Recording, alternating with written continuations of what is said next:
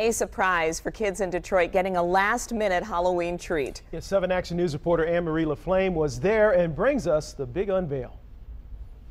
The best part of Halloween is dressing up and getting candy, but not every child gets that opportunity. But this year, thanks to our friends at Mojo in the Morning and Halloween Land, the kids at Warrendale Charter Academy will be able to.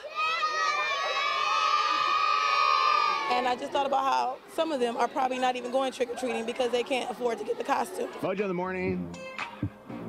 So yesterday morning, got a phone call from a kindergarten teacher. It began with a phone call to Mojo in the morning on Channel 955. Amanda Childress weighing in on their Halloween discussion with sad reality for her students. What do you say when you go to the door? Trick or treat. And are you excited to do that? Yeah. What are you excited to but, get? But we don't do that. Our family don't.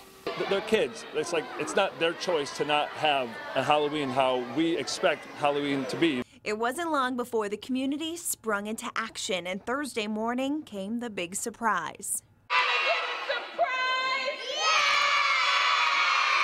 If all these kids don't have a costume, they deserve one.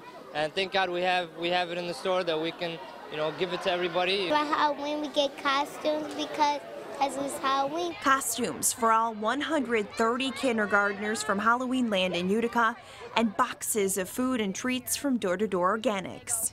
It's spooky. The kids are so super excited. They've been jumping around, they've been screaming. They knew they were going to get a surprise, they just didn't know what it was. And so this has just been wonderful. What's this? A witch. And what do you have? Hannah Montana. For Miss Childress, it's a reminder she's not in this alone. Detroit, Anne Marie LaFlamme, 7 Action News. We just have to give them a hand. Absolutely. I mean, Mojo in the morning, some of the best. You know, and this one of the and things that and yeah, kids. a lot of folks may take for granted, but this is a big moment for kids and for those who may not be able to celebrate. This was a great opportunity. So Yes. gotta love it. All right. Coming up.